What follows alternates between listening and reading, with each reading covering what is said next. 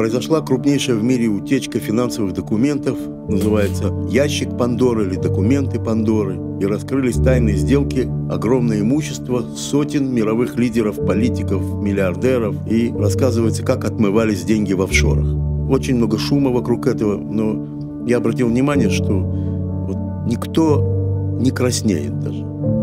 Не краснеет, не бьет себя в грудь, не кается – спокойно это все воспринимается. Ощущение, что пошумят, пошумят, и все. Конечно, и вообще и шума-то много не будет. И шума много не будет. Да. Это характеризует наше время. Конечно. Да?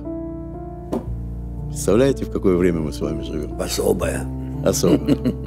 Вот все. Торжество эгоизма. Да, исчезло вот это вот ощущение стыда какого-то или вот какого-то что меня засекли в какой-то момент. Э, ну, Нет, кто сегодня вообще от чего-то волнуется? Есть, конечно, возможность посадить человека в тюрьму, но таких, как правило, не сажают. Поэтому им все равно. И вот куда вот это нас э, ведет? К полному беззаконию даже от тех законов, которые сегодня существуют якобы на бумаге. Когда-то человек в кого-то верил, и кто-то для него был лидером, и он называл ну, его лидером. А сегодня вот за что ухватиться человеку? Я уже не говорю... Ни за что. Ни за что. Ни за что.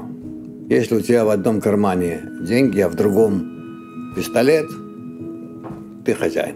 Пока в мире правит эгоизм, ты не сможешь найти чистого примера беззаветности, преданности, отдачи и так далее. Это все будет базироваться на эгоизме.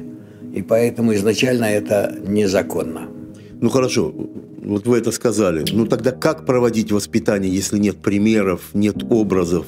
Вообще за что держаться человеку? За что? Человеку надо пытаться в наше время держаться за спокойное место, чтобы обеспечить себя и семью, насколько это возможно, и пытаться достичь каких-то духовных, высоких источников, корней – которые не зависят от управляющих миром. Это то, что остается человеку.